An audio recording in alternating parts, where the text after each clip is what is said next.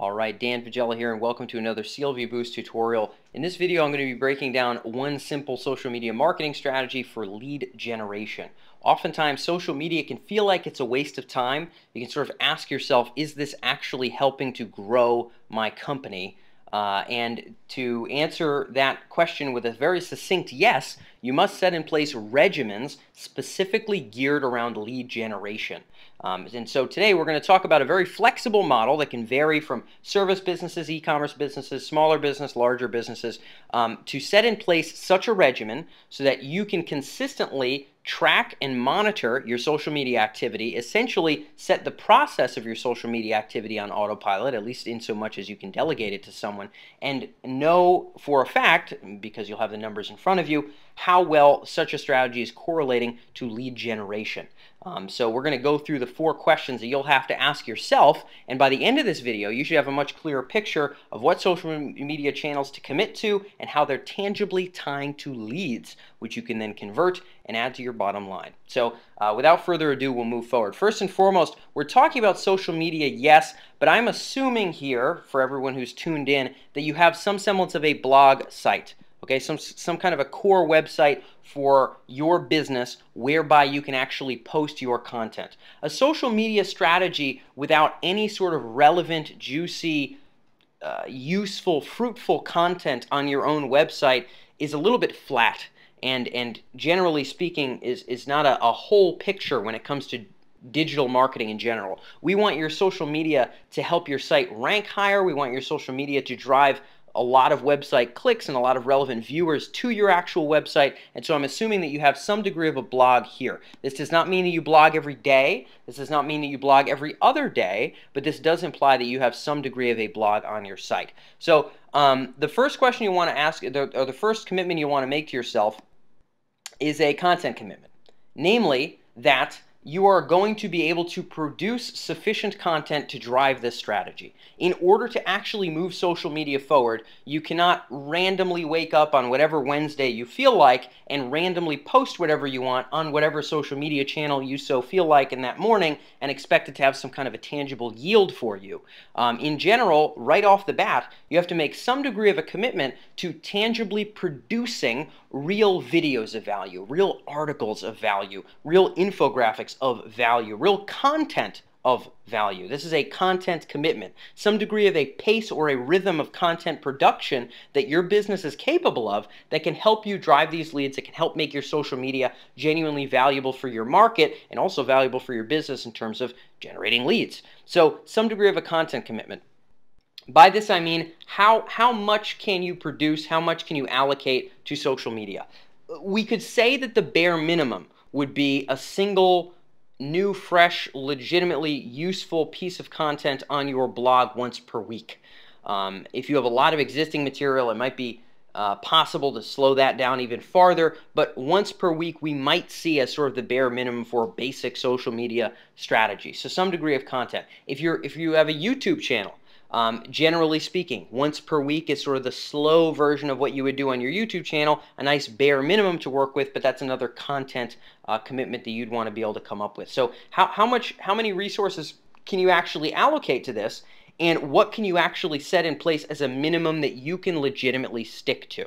In general, at least one article per week that's robust, useful, fruitful, tied to your business goals would be sort of a bare minimum. And so that's what we have to base this off of. We're going to talk about the three kinds of uh, web properties you can drive to from social media and from that blog, but this is really the first decision to make. Second decision to make is what is going to be the social media channel of choice. Where do your prospects live and what is conducive to your market? If you sell to a younger audience and you sell anything related to fitness or puppies or other things that people like to take pictures of, then you very, well, very well may want to hang out on Instagram.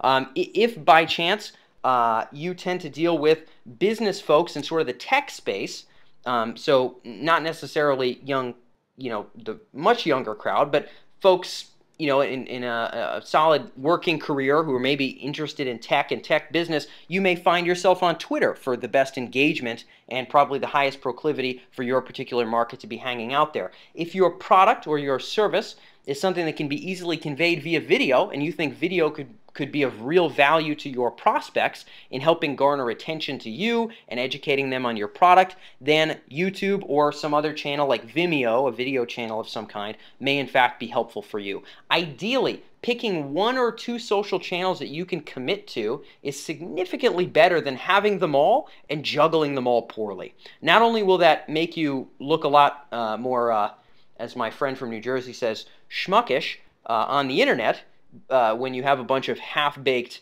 uh, social media presences online.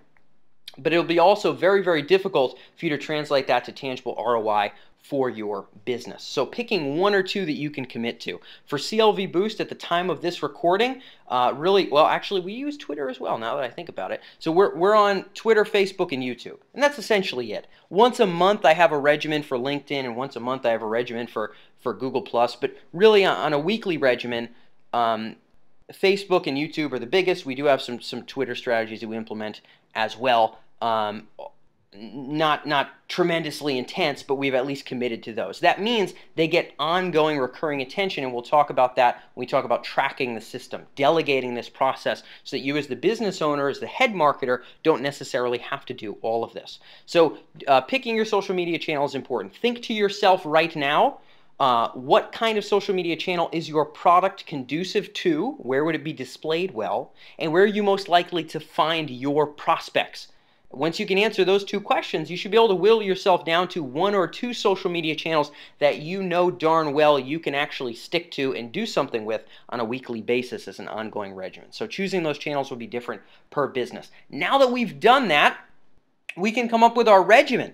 And essentially, if you want to drive leads, okay, so what I've drawn here is a crudely, uh, a, a, a, crudely drawn little web form, okay? This is supposed to be the submit button. These are supposed to be the options that you can click or fill out or whatever the case may be. This is a crudely drawn web form. Although it's possible to send people directly to a newsletter or directly to a free report of some kind or free video program, some kind of premium, or directly to a webinar registration or some kind of event registration. Although it's possible to drive them directly to uh, such an opt-in opportunity, it's often seen as uncouth on social media, and it's not necessarily something you're going to want to do all the time. Generally, social media is a place where value is traded, where interests are explored, not where people want to feel that leads are being generated. Even on LinkedIn, it's a bit uncouth to be driving directly to an opt-in opportunity. Normally, a web event is a little bit more acceptable online, but usually you are not going to be able to drive people directly to web forms from social. This makes people often feel like, well, shucks, that, that means I can't drive leads from social media. No, no, that's not the case at all. So we're going to talk about two different ways to blend your content with your lead generation strategy. So uh, two different ways to be able to pull this off that we'll talk about briefly. One is we're going to refer to as soft content, okay? One we're going to refer to as hard content let's say that that uh, I'm I've decided that Facebook is going to be one of the platforms that I I leverage on a consistent basis for my business. Then I want to make sure that X times per week I'm linking to content on my site um, that also either on the side or somewhere at the bottom or somewhere in the text. It doesn't have to be overt. It doesn't have to be offensive. And, and I use these two as an example. You don't have to have something on the side and on the bottom. I'm just using them both as examples. That somewhere on this site in in relatively easy viewing uh, in the relatively easy viewing field is somewhere for someone to click and enter their information to become a lead. So maybe you send them to a video, and let's say that you are in, uh, let's say that you sell camping gear online, okay? Um, while they're while you send them to a video about uh, you know, setting up a tent under high wind conditions, some kind of fun educational video, you may also have an opt-in for a coupon code for 10% off the tents for this season on your website. Or at the bottom of the page, you may have a 21 page guide, uh, you know, Mountaineers Basics guide that essentially explains a lot of the, the, the most important sort of preparation strategies for someone who's going to go on a mountaineering trip. So you might have an opt-in over here, you might have an opt-in over here, but they came to the website not to be turned into a lead, but just to drink in your content but you also happen to have soft calls to action to get them to convert. So if you're consistently driving traffic to your site, you want to have related uh, often soft calls to action to get people to opt in once they're there. Now, hard